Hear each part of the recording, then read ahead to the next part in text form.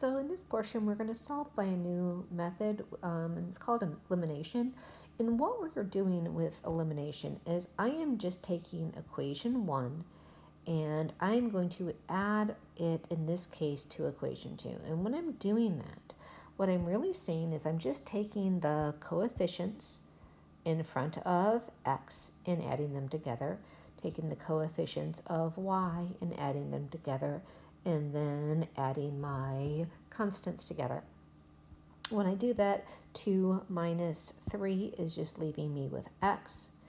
The y's become 0. Negative 4 plus 4 is just 0, so they're gone. And then the 8 minus 12 is just going to give me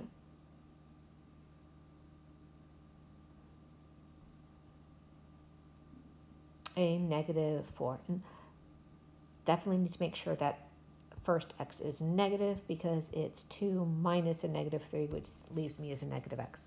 So what I have to do with this is I have to make sure I divide both sides by a negative 1, and that leaves me with my first answer that x is equal to a positive 4.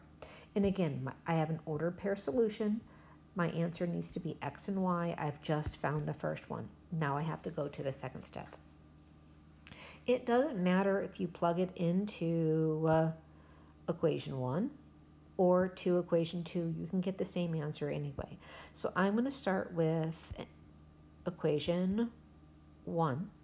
And that was 2x plus 4y is equal to 8.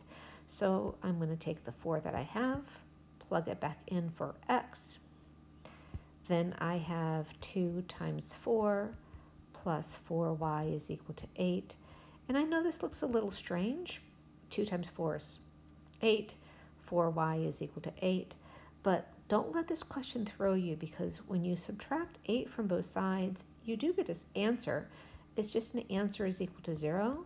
So when you divide both sides by 4, 0 divided by 4 is still an answer. It's just that y is equal to 0.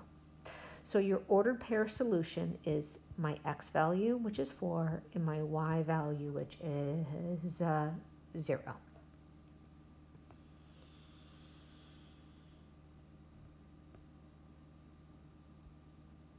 Try another one of those. So our next equation is 2x plus 3y is equal to negative 9. My other equation is 2x plus y is equal to negative 3.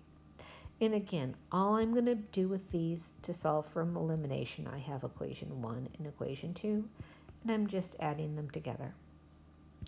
Negative 2 plus 2, so my first term, this just goes to 0.